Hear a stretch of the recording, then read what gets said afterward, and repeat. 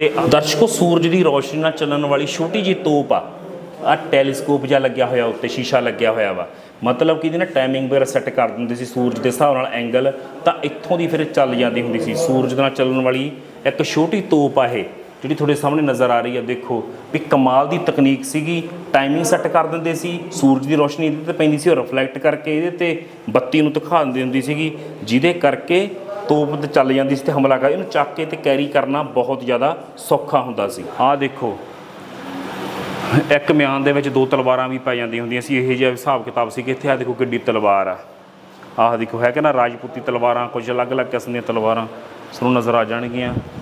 ਆ ਇਹ ਹੈਗੇ ਆਪਣਾ ਖੁ, ਖੁਰਕੀ ਵਗੈਰਾ, ਪਰਸਾ ਵਗੈਰਾ, ਕੁਹਾੜੀਆਂ ਗਦਾ ਸਾਨੂੰ ਅਲੱਗ-ਅਲੱਗ ਹਸਤਰ ਹਸਤਰ ਇੱਥੇ ਨਜ਼ਰ ਆਉਣਗੇ।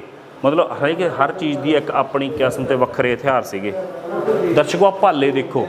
ਨੇਜੇ ਕਹਿ ਸਕਦੇ ਆ, ਕਿਸਮ ਦੇ ਕਈ ਕਿਸਮਾਂ ਦੇ ਪਏ ਆ, ਰਿਆਸਤਕਾਲੀਨ ਸਮੇਂ ਦੇ ਹੀ ਪਏ ਆ ਸਾਰੇ। ਦੇਖੋ, ਨੋਕਾਂ ਦੇ ਖਾਦੇ ਦੀਆਂ ਕੋਈ ਸਟੀਲ ਲੱਗਿਆ ਹੋਇਆ ਕੋਈ ਲੋਹਾ ਲੱਗਿਆ ਹੋਇਆ ਵਾ।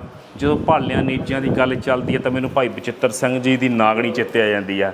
ਵੀ ਉਹਨਾਂ ਨੇ ਮਾਰ ਕੇ ਨਾਗਣੀ, ਮਤਲਬ ਕਹਿ ਸਕਦੇ ਆ ਕਿ ਹਾਥੀ ਪਲਟਾਤਾ ਸੀਗਾ। ਤੋੜੇਦਾਰ ਬੰਦੂਕਾਂ ਪਈਆਂ।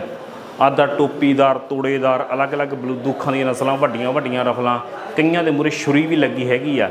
ਮਤਲਬ ਕੁਝ ਚਾਂਦੀ, ਪਿੱਤਲ ਦੇ ਵਿੱਚ ਅੱਡ ਅੱਡ ਮੜੀਆਂ ਹੋਈਆਂ, ਅੱਡ ਅੱਡ ਧਾਤਾਂ ਦੀਆਂ ਤੁਹਾਨੂੰ ਬੰਦੂਕਾਂ ਨਜ਼ਰ ਆ ਜਾਣਗੀਆਂ। ਘੁਮਾ ਦੇ ਵਿਚਾਰੇ ਪਾਸੇ। ਸਾਰੀਆਂ ਬੰਦੂਕਾਂ ਇਹਨੂੰ ਸ਼ਸਤਰ ਘਰ ਕਹਿੰਦੇ ਆ। ਹਥਿਆਰਾਂ ਵਾਲੇ ਪਾਸੇ ਆਪਾਂ ਆ ਚੁੱਕੇ ਹਾਂ। ਇਧਰਲੇ ਪਾਸੇ ਇਧਰ ਵੀ ਹੈਗੀਆਂ। ਦੇਖੋ ਬੰਦੂਕਾਂ ਹੀ ਤੁਹਾਨੂੰ ਨਜ਼ਰ ਆਉਣਗੀਆਂ ਸਾਰੇ ਪਾਸੇ। ਮਤਲਬ ਕਮਾਲ ਦੀ ਕਲਾਕਾਰੀ ਸੀ ਉਦੋਂ।